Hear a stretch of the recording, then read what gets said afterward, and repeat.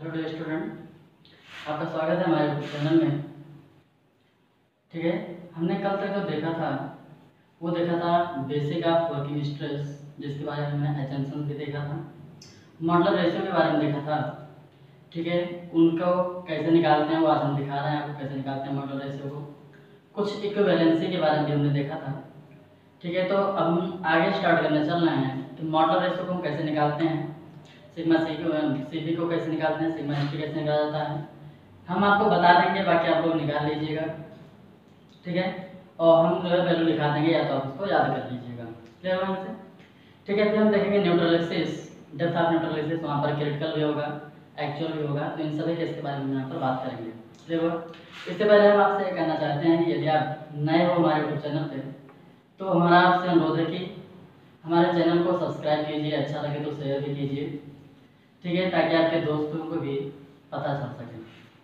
Let's start ठीक है, यहाँ पर हम स्टार्ट कर रहे हैं मॉडल रेशियो और मॉडल रेशियो कल हमने इसके बारे में देखा था। हम यहाँ पर बताएँगे आप कैसे इसको निकालेंगे। वहाँ पर हमने आपको तो बताया था M is equal to E S upon E C या two eighty upon three sigma C B ठीक है तो मॉडल रेशियो को सबसे ज़्यादा ज़रूरी है कि सिग्मा सी बी का मान निकाला जाए। और सिग्मा सी बी की बात हमने कल किया था कि सिग्मा सी बी आप कैसे निकालते हैं? ठीक है अल्टीमेट अल्टीमेट स्ट्रेंथ या स्ट्रेस यहाँ पर कह देते हैं। Ultimate stress upon factor of safety ठीक है? तो फैक्टर ऑफ़ सेफ्टी कंक्रीट के लिए वर्किंग स्ट्रेस में हम ज़्यादातर बेंडिंग के केस में तीन लेते हैं। और अल्टीमेट स्ट्रेस जो वहाँ पर मिक्स 15, 20, 25 ऐसा देखा जाता है ये इसकी अल्टीमेट स्ट्रेंथ होता है। क्लियर वहाँ से? ठीक है? तो अब देखो हम थोड़ा सा यहाँ पर लिख देते हैं, कुछ चीज़ें। जैसे हम बात कर रहे हैं यहाँ पर एम ट्वेंटी की। M thirty twenty five sorry यहाँ पर करेंगे ट्वेंटी फाइव अच्छा यहाँ पर हम एक और ले लेते हैं। Fifteen twenty twenty five thirteen thirty five और यहाँ पर हम बात कर लेते हैं फोर्टी ठीक है? यहाँ पर हम सिग्मा सी की बात करेंगे। सिग्मा सी है क्या? सिग्मा सी है क्या? बेंडिंग में, ठीक है? बेंडिंग में कंक्रीट में उत्पन्न परमिसिबल स्ट्रेस अर्थात बेंडिंग के कारण, ठीक है? बेंडिंग के कारण कंक्रीट में उत्पन्न, ठीक है? Permissible stress. बेंडिंग के कारण कंक्रीट में उत्पन्न परमिसिबल स्ट्रेस, जो इसका वैल्यू होगा एम पंद्रह के लिए, वो हमारा कितना ले जाएगा? देखो, याद कर लेना इसको। यहाँ पर फाइव थ्री से भाग करेंगे फाइव आएगा। इसमें टू ऐड कर दीजिएगा सेवन हो जाएगा। फिर इसमें वन पॉइंट फाइव ऐड कीजिएगा एट पॉइंट फाइव फिर वन पॉइंट फाइव कीजिए टेन फिर यहाँ पर इलेवन पॉइंट फाइव और यहाँ पर जो आपका आएगा थर्टीन क्लियर हुआ? हाँ साथ साथ लोग लिख लीजिएगा क्योंकि इसकी पीडीएफ अवेलेबल नहीं है। इसको आप लिखते चलिएगा। सिग्मा सी एम पंद्रह के लिए कितना ले जाएगा? पाँच ट्वेंटी के लिए सेवन ट्वेंटी फाइव के लिए एट पॉइंट फाइव ठीक है थर्टी के लिए टेन होगा। थर्टी फाइव के लिए eleven point five and forty के लिए कितना हो जाएगा आपका? थर्टी निकालना चाहो तो आप निकाल सकते हो, जो भी हमने ऊपर फार्मूला लिखा था। Ultimate stress upon factor of safety वहाँ से आप निकाल दे सकते हैं। क्लियर हुआ से तो हमारे ख्याल से इसको आप लिख लेंगे। अब इसी के आधार पर हम एम का मान निकालेंगे। ध्यान दीजिए इधर। अगर हम m फिफ्टीन के लिए निकालना चाहें तो हम कहेंगे सिग्मा सी बी मान फाइव क्या रख देंगे वहाँ हम पाँच रख देंगे। क्लियर हो गया यहाँ से तो ज़्यादातर केसों में अगर हम बात करेंगे आरसीसी डिज़ाइन के लिए तो जो भी मॉडुलर रेशियो होगा, जो भी मॉडुलर रेशियो होगा, वो डिपेंड करता है किस पे? सिग्मा सी बी पे। लेकिन अगर आप स्ट्रेंथ ऑफ़ मटेरियल पे बात करेंगे, या मैकेनिक्स की बात करेंगे तो वहाँ पर हम कहेंगे कि दोनों जो भी मटेरियल हैं, उन दोनों मटेरियल के मॉडुलस ऑफ़ इलास्टिसिटी के अनुपात पर डिपेंड करता है। क्लियर हो तो हम आरसीसी की बात कर रहे हैं, इसलिए कंक्रीट के ग्रेड को ही देखकर हम मॉडुलर रेशियो को डिफाइन करेंगे। क्लियर हो यहाँ से? कंफ्यूजन तो नहीं होना चाहिए हमारे ख्याल से। तो हम इसको हटा रहे हैं और हम यहाँ पर मॉडुलर रेशियो का मान निकाल रहे हैं। ठीक है? ध्यान दीजिए यहाँ पर। M is equal to two eighty upon three into ठीक है, किसके लिए निकाल लें पहले हम m पंद्रह के लिए निकाल लेते हैं और इसके लिए कितना आएगा यहाँ पर? सिग्मा से मान फाइव जब इसको आप सॉल्व करेंगे, यहाँ पर आपका आएगा एट्टीन पॉइंट सिक्स सेवन के समथिंग और इसको जो लिया जाता है, वो लिया जाता है एट्टीन क्लियर हुआ यहाँ पर? जो आप सॉल्व करेंगे तो एटीन पॉइंट सिक्स सेवन आएगा समथिंग ये लेकिन हम लेते किसको कितना है उसको? एट्टीन इसी प्रकार से अगर हम एम फिफ्टीन के स्थान पर एम ट्वेंटी की बात कर लें। जब हम एम ट्वेंटी की बात करेंगे तो यहाँ पर फाइव ना होकर के सेवन हो जाएगा, ठीक है? और उसके लिए जो भी मॉडल रेशियो का मान आएगा, वो आएगा thirteen point three three clear से? तो हमारे ख्याल से ये भी निकाल लेंगे। यहाँ पर भी हम लिख लेते हैं, ठीक है एम फिफ्टीन उसके बाद M twenty M twenty five M thirteen M thirty five M forty ठीक है एम फोर्टी अब इसके लिए हम मॉडल रेशियो की मान, बात करेंगे हम। जब मॉडल रेशियो की बात करेंगे तो इसका आएगा अट्ठारह दशमलव छः सात, इसका जो आएगा तेरह दशमलव तीन तीन इसका जो आएगा दस दशमलव नौ आठ, इसका जो आएगा एम थर्टी का nine point three three nine point three three ठीक है? और एम थर्टी फाइव का जो आएगा, वो आएगा एट पॉइंट इलेवन और इसका जो आएगा सेवन पॉइंट वन एट ठीक है? ये किसका मान है? मॉडुलर रेशियो का। ये किसका मान है? मॉडुलर रेशियो का। ठीक है? कुछ इस प्रकार से। अब ये पर हम सिग्मा सीरी को भी लिख देते हैं ताकि याद करने में आपको आसानी मिल जाए। सिग्मा सीरी भी हम लिख लेते हैं। सिग्मा सीरी इसके लिए कितना होगा? एम पंद्रह के लिए अभी ऊपर लिखे थे भाई। पंद्रह के लिए कितना होगा? फाइव इसके लिए कितना होगा? सेवन इसके लिए होगा आपका एट पॉइंट फाइव इसके लिए होगा? टेन इसके लिए होगा इलेवन पॉइंट फाइव और इसके लिए आपका क्या होगा? थर्टीन क्लियर हुआ? तो यहाँ से हम देख रहे हैं क्या? निकालने का तरीका भी आपको बता दिए हैं। कभी कभी क्या होता है कि ये वैल्यू ना मिल करके, ठीक है, इसके निकटतम मिल जाती है, ठीक है, इसके सन्निकटता जो वैल्यू रहती है, उसको हम देख करके सॉल्व करते हैं। क्लियर हुआ? तो ये तो इसकी एक्यूरेट वैल्यू होती है। यहाँ पर एट्टीन पॉइंट सिक्स सेवन ना लेकर के एटीन ले आता है। यहाँ पर thirteen thirteen point three three ना लेकर के थर्टीन ले जाता है। Nine point nine ten point nine eight ना लेकर के यहाँ पर इलेवन ले लेते हैं। और यहाँ पर नाइन ले लेते हैं। इसी प्रकार से सभी वैल्यू क्या होती हैं? वेरी कर जाती हैं? क्लियर हुआ तो हमारे ख्याल से निकलना अगर आपको आ गया तो, तो ठीक है। अगर नहीं आया तो ये वाली वैल्यू आप याद करेंगे। इसके सन्निकट ऑप्शन में जो भी रहेगा उसको आप सही करेंगे। क्लियर हुआ यहाँ से? ठीक है? तो मॉडुलर रेशियो सिग्मा सी दोनों को हमने देख लिया यहाँ पर और दोनों को हमने निकाल भी लिया। सिग्मा एस के लिए भी हमने कल कुछ निकाला था वहाँ पर हमने लिखाया भी था। आज भी देख थोड़ा सा ठीक है? सिग्मा एस टी जो होता है sigma S T. Sigma S T के आधार पर हम बात करेंगे sigma S T. Tensile zone में पड़ी स्टील का, ठीक है, परमिसिबल स्ट्रेस। टेंसाइल जोन में, ठीक है, पड़े स्टील का परमिसिबल स्ट्रेस। और इसके लिए हम बात करेंगे एफ़ ई दो सौ पचास एफ़ ई चार सौ पंद्रह एफ़ ई चार सौ पंद्रह एफ़ ई पाँच सौ। तो इसके लिए सिग्मा एस टी जो रहता है, ठीक है, वह वन फोर्टी न्यूटन पर एम एम स्क्वायर ठीक है? चार सौ पंद्रह के लेकर हम बात करेंगे, चार सौ पंद्रह के लेकर हम बात करेंगे। तो वहाँ पर आएगा हमारा दो सौ तीस न्यूटन पर एम एम स्क्वायर और इसके लिए जो होगा दो सौ पचहत्तर न्यूटन पर एम एम स्क्वायर क्लियर हुआ। निकालने का तरीका वही है, स्टील एक डक्टाइल मटेरियल है। डक्टाइल मटेरियल होने के कारण, ठीक है इसको निकालेंगे हमें? यील्ड स्ट्रेस के आधार पर। अर्थात permissible stress is equal to yield stress upon factor of safety clear हुआ यहाँ से? इसको जब आप निकालोगे तो वन फोर फोर आता है, लेकिन हम वन फोर्टी मानते हैं यहाँ पर। क्लियर हुआ? तो इसको भी याद कर लीजिएगा। अब हम अगला हेडिंग स्टार्ट करेंगे depth of neutral axis depth of neutral axis clear हुआ? हाँ कल जो देखे थे, वहाँ पर हमने इक्विवेलेंसी को दिखा दिया था, उसका यूज़ हम आज थोड़ा सा करेंगे। ठीक है? हम देख रहे हैं यहाँ पर depth of neutral axis depth of neutral axis depth of neutral axis को हम दो प्रकार से सॉल्व करते हैं। एक, जब स्ट्रेस आपका पता होगा। स्ट्रेस आपका क्या होगा? पता होगा। ठीक है? जो भी स्ट्रेस है मटेरियल के ठीक है स्ट्रेसेस मटेरियल के जो भी हैं, वो आपको पता होगा। तब हम, ठीक है, उसको कहेंगे क्रिटिकल न्यूट्रल एक्सिस उसको हम क्या बोलेंगे? क्रिटिकल न्यूट्रल एक्सिस जब स्ट्रेस के आधार पर न्यूट्रल एक्सिस की गहराई को बताएँगे तो उसको हम कहेंगे क्या? क्रिटिकल न्यूट्रल एक्सिस क्रिटिकल का मतलब क्या? हमने कहा कि जो भी स्ट्रेस है, उस स्ट्रेस को हम फुल यूटिलाइज करेंगे। अच्छा फुल यूटिलाइज करेंगे तो हम कहेंगे सभी स्ट्रेस को जब फुल यूटिलाइज किया जा रहा है तो ऐसे में और अधिक लोड पड़ेगा तो फेल होने के चांसेस रहते हैं। क्लियर हुआ? हमने कहा कि हमारी जो क्षमता है, ठीक है, वो 20 किलो भार उठाने की है।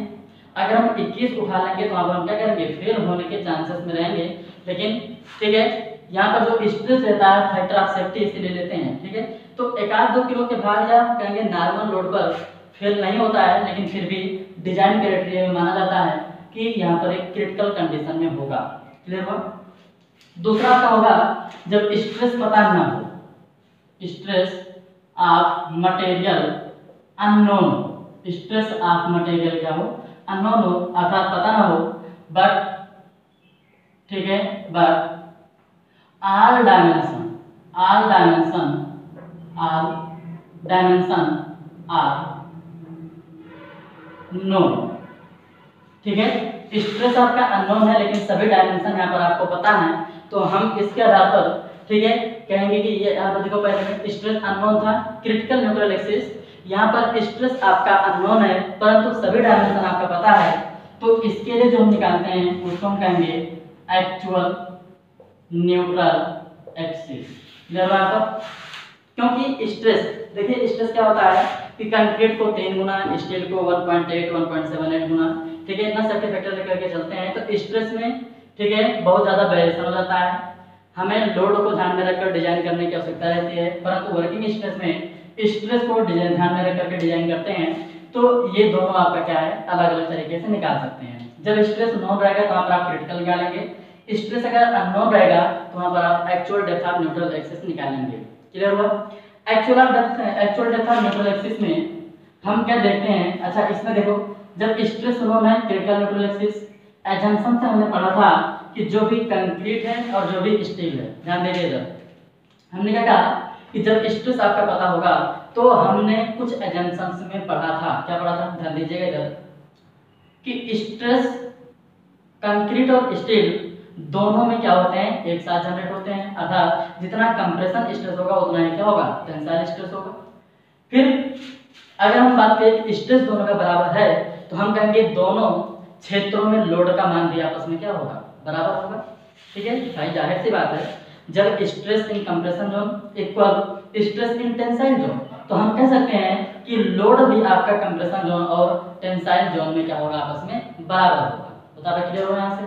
तो यहाँ पर हम बात करेंगे लोड की। अर्थात F C is equal to यहाँ पर क्या होगा? F T compression force is equal to क्या होगा? टेंसाइल फोर्स जबकि यहाँ पर जो हम बात करेंगे, ठीक है compression stress compression stress is equal to आपका होगा यहाँ पर क्या? टेंसाइल स्ट्रेस यहाँ पर क्या होगा? टेंसाइल स्ट्रेस बता रहे क्लियर होगा? अगर इतना आपको क्लियर हो गया है तो हम आगे डेरिवेट करते हैं। जो भी आपको कंफ्यूजन होगा, उसको आप कमेंट करके पूछ सकते हैं। जिनके पास हमारा पर्सनल व्हाट्सएप नंबर है, वो आप व्हाट्सएप भी कर सकते हैं। क्लियर हुआ? ठीक है? तो स्ट्रेस जब नोट रहेगा क्रिटिकल न्यूट्रल एक्सिस ऐसी कंडीशन में कहेंगे कंप्रेशन स्ट्रेस और टेंसाइल स्ट्रेस दोनों का मान आपस में क्या होगा? बराबर होगा। ठीक है? अगर यहाँ पर हम बात करेंगे दूसरे कंडीशन में, कि जब स्ट्रेस आपको ना पता हो, लेकिन सभी डायमेंशन दिए गए हों तो वहाँ पर हम एक्चुअल न्यूट्रल एक्सिस ज्ञात करते हैं। और एक्चुअल न्यूट्रल एक्सिस के लिए हम कहेंगे कि कंप्रेशन जोन में फोर्स तथा टेंसाइल जोन में जो भी फोर्स होगा, वो मान आपस में क्या होंगे? बराबर होंगे। बता रहे क्लियर हुआ ठीक है? तो अब हम पहला जो हेडिंग डालेंगे, वो डालेंगे जब आपका स्ट्रेस नोन अर्थात स्ट्रेस आपका पता है। जब स्ट्रेस पता है तो उसके लिए हम कहेंगे कि critical depth of neutral axis निकाला जाएगा। क्या निकालेंगे? Critical depth of neutral axis निकाला जाएगा। तो पहला हेडिंग आप तुरंत यहाँ पर डालेंगे? Depth of critical neutral axis depth of critical neutral axis. Clear हुआ?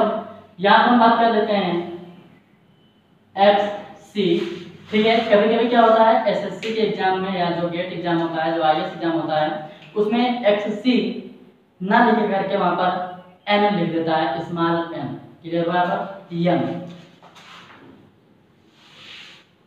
एन कैपिटल स्मॉल है। ठीक है ये भी आपका लिखा रह सकता है। चलिए देखते हैं। हमारे पास एक बीम है क्रॉस सेक्शन जिसका क्रॉस सेक्शन क्या है? बी और इसका, ठीक है? यहाँ पर हमने कुछ रेनफोर्समेंट अप्लाई कर दिया है। और इसके सेंटर से यहाँ तक की जो दूरी होगा, उसको हम इफ़ेक्टिव डेप्थ ऑफ़ बीम कहते हैं। रेनफोर्समेंट यहाँ पर कितना है, हमें पता नहीं है। कितना है? हमें पता नहीं है। ये इसका न्यूट्रल एक्सिस हम मान लेते हैं यहाँ पर होगा। ये इसका न्यूट्रल एक्सिस मान लेते हैं यहाँ पर होगा। ठीक है? और यहाँ से लेकर यहाँ तक की जो डिस्टेंस है, वो डिस्टेंस हम मान लेते हैं, कितना है वो? एक्स सी कितना है वो? एक्स सी जब इस पर लोड लगा तो इसमें कुछ स्ट्रेस भी जनरेट होगा और स्ट्रेस जो जनरेट होगा, वो स्ट्रेस हम यहाँ पर दिखा रहे हैं। कुछ इस प्रकार से जनरेट होगा। ठीक है? यहाँ पर। कुछ आगे बढ़ेगा। देखो, ऊपर आपका कंक्रीट नीचे आपका है जोन ऊपर आपका है कंप्रेशन जोन कंप्रेशन जोन और यहाँ पर आपका क्या है? ये टेंसाइल जोन हम जानते हैं, क्या जानते हैं? हम जानते हैं कि जो कंप्रेशन जोन होता है, वह केवल कंक्रीट स्ट्रेस को रजिस्ट करता है, जबकि टेंसाइल जोन में कंक्रीट कोई भी स्ट्रेस को रजिस्ट नहीं करेगा। टेंसाइल जोन में जो भी स्ट्रेस होगा, वह केवल स्टील द्वारा रजिस्ट किया जाएगा, कंक्रीट इसमें क्या होती है? फ्री रहती है। ठीक है? तो अब देखो, कंप्रेशन जोन में जो भी स्ट्रेस होगा, वो कंक्रीट बेयर करेगा। ऊपर कोई भी स्टील नहीं है। ठीक है? अर्थात कंक्रीट का परमिसिबल स्ट्रेस। परमिसिबल या मैक्सिमम स्ट्रेस जो भी होगा, उसको हम यहाँ पर बोल देते हैं सिग्मा सीवी ठीक है? ये टेंसाइल जोन है। और टेंसाइल जोन में कंक्रीट कोई भी स्ट्रेस बेयर नहीं करेगा। हाँ यहाँ पर जो रहा है, यहाँ पर इसके बीच में है यहाँ पर जो रहा है, वह स्टील के द्वारा आ रहा है, और वहाँ पर हम लिखेंगे क्या?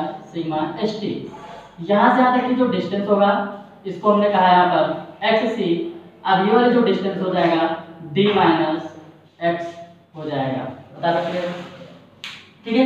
अब देखो, यहाँ पर है कंक्रीट यहाँ पर है स्टील क्या दोनों का स्ट्रेस आपस में बराबर होता है? तो हमें बिल्कुल नहीं होता दोनों का मान बराबर इसको हम इक्विवेलेंस में, ठीक है, करेंगे, उसको हम बराबर करेंगे। इक्विवेलेंट हमने कल कुछ देखा था कि जो भी यहाँ पर सिग्मा सी बी का मान आया था, वो आया था सिग्मा एस टी अपान में इस मान का।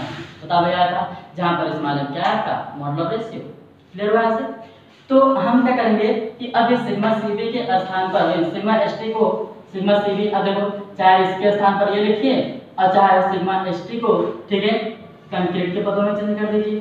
तो यहाँ पर कंक्रीट है, यहाँ पर भी कंक्रीट के पदों में ही लेंगे, और इसको हमने इस मान एम कर दिया। क्लियर हुआ? देखो, ऊपर भी कंक्रीट है, नीचे स्टील है।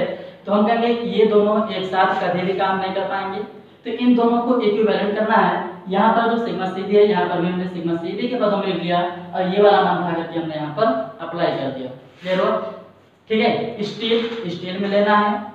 तो स्टील यहाँ पर भी लेंगे, स्टील सिग्मा स्टील के पदों में यहाँ पर भी रखेंगे। लेकिन अगर कंक्रीट के में लेना है तो कंक्रीट का स्ट्रेस ये है, और इसको भी हम कंक्रीट के इक्विवेलेंट करेंगे। स्टील को भी कंक्रीट के इक्विवेलेंट किया जाएगा, और ये वाला मान उठा करके हमने यहाँ पर रख दिया, यहाँ पर रख दिया। क्लियर हुआ?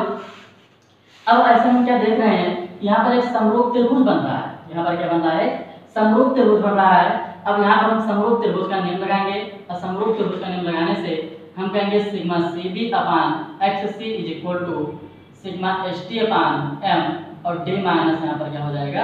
एक्स बता रहे क्लियर हुआ समरूप त्रिभुज का हमने नियम लगाया है, इतना बटे इतना इतना बटे इतना। क्लियर हुआ अब देखो हम क्या करेंगे जब इसको हम सॉल्व करेंगे तो यहाँ से आपका m is equal X is equal to जो भी आएगा X C is equal to जो भी आएगा, m sigma C B into D upon. M sigma C B plus sigma S T. Clear हुआ ये हमारा किसका मान आ गया? एक्स सी का मान आ गया, जहाँ m is equal to modular ratio जहाँ m is equal to modular ratio sigma C is equal to ठीक है स्ट्रेस इन कंक्रीट ठीक है परमिसिबल स्ट्रेस इन कंक्रीट ठीक है, sigma S T is equal to क्या है टेंसाइल जोन में पर स्टील का परमिसिबल स्ट्रेस बता क्लियर हुआ ठीक है, अब इसी को हम थोड़ा सा और आगे बढ़ाते हैं। इसी को हम थोड़ा सा और आगे बढ़ाते हैं। यहाँ से, ठीक है? X C is equal to M sigma C B into D M sigma C B को हमने कॉमन ले लिया? यहाँ पर भी एम सिग्मा सी बी को हम बाहर ले लेंगे।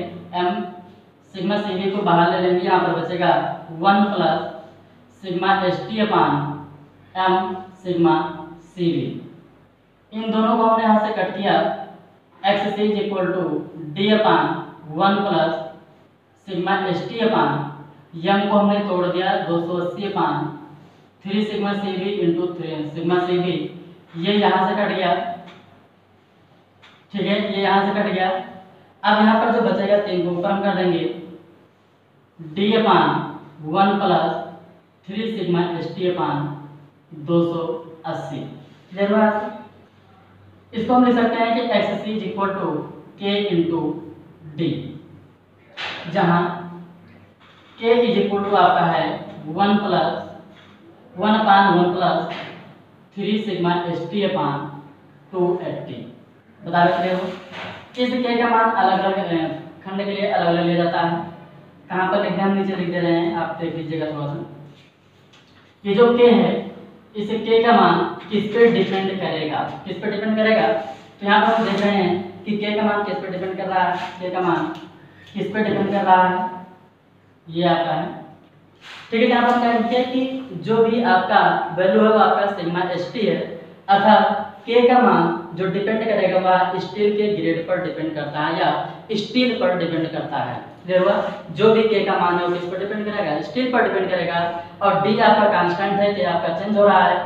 ठीक है, दिखा है क्या चेंज हो रहा है। सिग्मा एस टी का मान रख के ये फिर ढाई सौ के लिए निकाल लीजिए।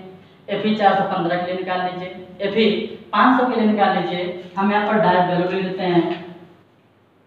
एफ़ ई ढाई सौ एफ़ ई चार सौ पंद्रह एफ़ ई पाँच सौ और इसके लिए जो होगा ज़ीरो पॉइंट फोर, इसके लिए होगा ज़ीरो पॉइंट टू एट और इसके लिए जो होगा ज़ीरो पॉइंट टू फाइव। के का मान। है ठीक है के का मान कितना है? एफ़ ई ढाई सौ के लिए कितना? ज़ीरो पॉइंट चार। एफ़ ई चार सौ पंद्रह के zero point two eight F E पाँच सौ के लिए आपका कितना है? Zero point two five clear हुआ? हम यहाँ से कुछ देख रहे हैं। कंसेप्ट यहाँ से अपना क्लियर कीजिए। हम यहाँ पर कुछ देख रहे हैं कि के का मान स्टील का ग्रेड बदलने से बदल जा रहा है, लेकिन किसी भी धर्म के लिए डी का मान कांस्टेंट रहेगा। तो जब के का मान बदल रहा है तो एक्स सी का मान भी यहाँ पर क्या होगा?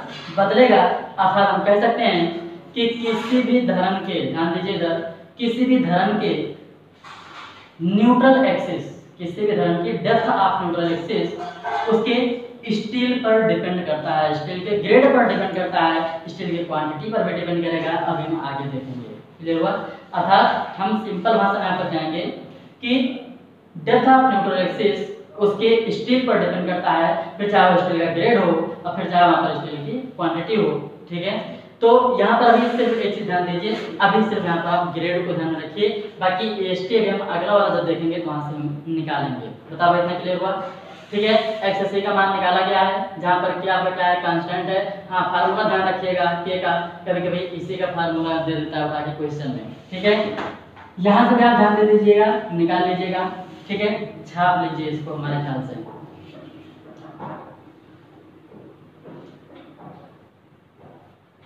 ठीक है, वीडियो को पास करके वहाँ से आप लिख लीजिएगा। हम इसको आगे बढ़ाते हैं। हम इसको आगे बढ़ाते हैं। ठीक है? इसी को हम आगे बढ़ाते हैं। थोड़ा सा देखिए, यहाँ से पढ़ते हैं। चूँकि हम जानते हैं if if stress ratio is equal to R R क्या है? स्ट्रेस रेशियो है। स्ट्रेस रेशियो का मतलब क्या है? तो हम कहेंगे R is equal to sigma S T upon sigma C B होता है। आर हमारा क्या होता है? Sigma S T upon sigma C B होता है। ठीक है? तो वो हमारा क्या कहलाता है? स्ट्रेस रेशियो ठीक है? कि ये जो sigma S T upon sigma C B इसको हमने मान लिया? आर देन ठीक है? देन अच्छा ये आर के स्थान पर कभी कभी यम भी लिख देता है। ठीक है? नहीं, यम नहीं रहेगा। आर सी रहता है आर सी रहता है। ठीक है तो हम आर लेकर के यहाँ पर कर रहे हैं। चलिए उठाइए यहाँ से। जब इसको उठाएँगे तो यहाँ पर हम कहेंगे M sigma C B into D upon sigma C B को आप बाहर ले लीजिए। और यहाँ पर बचेगा M plus sigma S T upon sigma C B sigma C B sigma C B cancel हुआ। ठीक है, अब यहाँ पर जो बचेगा, अब यहाँ पर जो बचेगा, ठीक है then X C is equal to ठीक है? X C is equal to यहाँ पर जो बचेगा M into D upon M plus R बता रहे क्लियर यहाँ से? तो यहाँ से आप क्वेश्चन को सॉल्व कर सकते हैं। कभी कभी प्री एग्ज़ाम में आर का मान देता है, बोलता है स्ट्रेस रेशियो 40 है 45 है 50 है 51 है 55 है। जो भी देना होगा वो दे देगा। इसमें यम का मान दे देगा बीम की गहराई दे देगा, आपसे पूछ लेगा एक्सएससी का मान। क्लियर हो यहाँ से तो कोई दिक्कत नहीं है, आप सॉल्व कर सकते हैं। चाहे वहाँ पर स्ट्रेस रेशियो बोले और चाहे वहाँ पर बोल दे कि स्ट्रेस इन टेंसाइल जोन तथा स्ट्रेस इन कंप्रेशन जोन इन दोनों का जो भी रेशियो है वो कुछ नंबर दे देगा। इतना है तो इसके आधार पर एक्सएससी का मान बताइए। बता भाई बता नहीं पाएँगे क्या यहाँ पर? बता सकते हैं? ठीक है? चलिए, इसको भी कर लीजिएगा। निकाल लीजिएगा इसको भी। अब थोड़ा सा यहाँ पर हम बात करेंगे। ठीक है थोड़ा सा यहाँ पर हम बात करेंगे कि मान लीजिए कोई एक क्वेश्चन आपको दिया गया। मान लीजिए कोई एक क्वेश्चन दिया गया। ठीक है? कि फाइंड आउट न्यूट्रल एक्सिस ठीक है? Which find out the neutral axis of a singly reinforcing question आपको हम दे देंगे, अभी वैसे हम बता रहे हैं। ठीक है? Find out the neutral axis of a ठीक है? Simply supported beam which width चौड़ाई उसकी दिया एंड डेप्थ गहराई उसकी दे दिया, ठीक है? And using concrete and quantity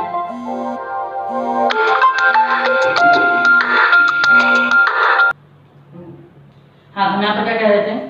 यहाँ पर हम कह रहे थे कि एक धरन है, चलो सिंपल बात समझिए एक धरन है, जिसका न्यूट्रल एक्सिस आपको ज्ञात करना है, जिसकी चौड़ाई कुछ दिया गया है, गहराई कुछ दिया गया है, तथा using a concrete M20 grade दिया गया है Fe का मान भी वहाँ पर आपको दिया गया है।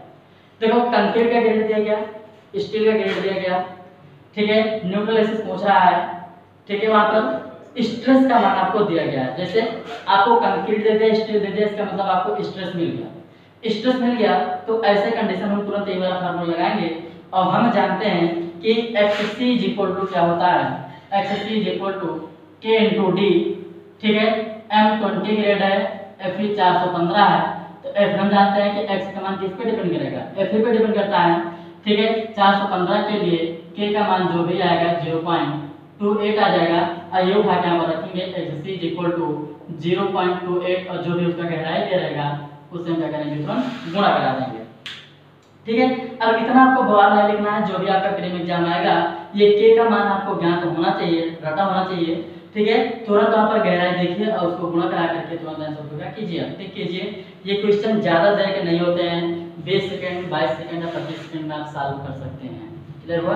तो इतना टाइम आपका होना चाहिए। ठीक है? हमारे ख्याल से इसको आपने कर लिया होगा, समझ में भी आ गया है। अब हम दूसरा कंडीशन देखते हैं, जहाँ पर ठीक है स्ट्रेस आपको पता नहीं है। दूसरा कंडीशन क्या देख रहे हैं जहाँ पर? स्ट्रेस आपको पता नहीं है। ठीक है, लेकिन डायमेंशन वहाँ पर सभी दिए गए हैं। तो जब स्ट्रेस पता नहीं है, ठीक है स्ट्रेस आर अननोन स्ट्रेस आपका क्या है? अननोन है। ऐसे हम देखेंगे तो हम कहेंगे depth of actual neutral axis depth of actual neutral axis. Clear हो यहाँ से? अच्छा बेटा depth of actual neutral axis की हम बात करेंगे। तो यहाँ पर हम कहेंगे कंप्रेशन जोन में अच्छा पहले डायग्राम बनाते हैं। यहाँ पर हमारे पास एक धरन है। ठीक है, धरन है cross section B over R depth D यहाँ पर हमने कुछ स्टील प्रोवाइड किया है। यहाँ से लेकर यहाँ तक की जो गहराई है इसकी, वो गहराई हम मान लेते हैं स्मॉल डी और इसका जो एरिया है, मान लेते हैं क्या है वो एस टी यहाँ पर इसका डेप्थ ऑफ़ न्यूट्रल एक्सिस है, और उसको हम मान लेते हैं क्या है यहाँ पर एक्स ए क्लियर बात आपको ये डायमेंशन सभी आपको दिए गए हैं, मान लेते हैं, ये डायमेंशन आपको सभी दिए गए हैं। तो अब इसमें क्या होगा कि हम यहाँ पर स्ट्रेस डायग्राम बनाएँगे, और स्ट्रेस डायग्राम जब बनेगा तो ये हमारा कुछ इस प्रकार से बन जाता है। हाँ यहाँ पर क्या कह रहे हैं कि स्ट्रेस आपको पता नहीं है। स्ट्रेस आपको पता नहीं है। तो ऐसे हम कहेंगे कि यहाँ पर एक कंप्रेशन जोन में फोर्स लगेगा, जिसको हम कहेंगे एफ़ सी और यहाँ पर टेंसाइल जोन में फोर्स लगेगा, जिसको हम कहेंगे क्या? एफ़ टी भाई, इसी फोर्स के कारण, इसी फोर्स के कारण, देखो, ये हमारे पास धरन है। हमने क्या किया? यहाँ पर एक फोर्स लगाया, जिस फोर्स के कारण क्या हो रहा है? बेंड हो रहा है। तो इसी फोर्स के कारण धरन बेंड हो रहा है तो हम कहेंगे इस फोर्स की हम गणना करेंगे, ठीक है? और हम फिर एजेंशन में पढ़े हैं कि जो भी स्ट्रेस स्ट्रेन डायग्राम होता है, वो कंप्रेशन और टेंशन अर्थात न्यूट्रल एक्सिस के ऊपर और न्यूट्रल एक्सिस के नीचे न्यूट्रल एक्सिस के बढ़ती हुई दूरी के साथ साथ बढ़ता है क्लियर हुआ आपसे? तो ऐसे कंडीशन में कहेंगे कि यहाँ पर जो भी एफ़ होगा एफटी होगा, इन दोनों फोर्स का मान आपस में क्या होगा? बराबर होगा। F C is greater than क्या F C is equal to क्या होगा यहाँ पर? एफ़ टी होगा। क्लियर है अब फोर्स इज़ इक्वल टू क्या होता है? फोर्स इज़ इक्वल टू क्या होता है? तो हम कहेंगे स्ट्रेस और इनटू में क्या होगा यहाँ पर? एरिया बता दीजिए ज़रूरत नहीं होगा ठीक है? यहाँ पर स्ट्रेस में अननोन है। हम मान लेते हैं। माना, यहाँ पर जो स्ट्रेस है वो सिग्मा सी बी और यहाँ पर जो स्ट्रेस है वो हमारा क्या है? सिग्मा एस टी और यहाँ पर जो स्ट्रेस हमें पता है क्या है? ज़ीरो कंक्रीट में उत्पन्न maximum stress sigma C B steel में उत्पन्न maximum stress sigma S T और यहाँ पर ज़ीरो क्या स्ट्रेस क्या हो गया? ज़ीरो हो गया। ठीक है? हम एफ़ सी की बात करेंगे कंप्रेशन जोन में उत्पन्न फोर्स की। तो कंप्रेशन जोन का जो एरिया है, वो एरिया यहाँ पर ठीक है? यहाँ हम क्या देख रहे थे? कि कंप्रेशन जोन फोर्स था टेंसाइल जोन फोर्स इन दोनों का मान आपस में बराबर होगा। ठीक है? जब फोर्स बराबर है तो हम कह सकते हैं कि स्ट्रेस भी यहाँ पर क्या होगा? बराबर होगा। लेकिन यहाँ पर जब आपको देखना है तो हम कहेंगे क्या? मोमेंट इन कंप्रेशन जोन ये बराबर होगा मोमेंट इन टेंसाइल जोन ठीक है? क्योंकि जब हम इस बीम पर लोड लगा रहे हैं, जब हम इस बीम पर लोड लगा रहे हैं तो हम कुछ इस प्रकार से लोड लगा रहे हैं, ऐसे? और ये बीम क्या हो रहा है? आपका कुछ बेंड कर रहा है।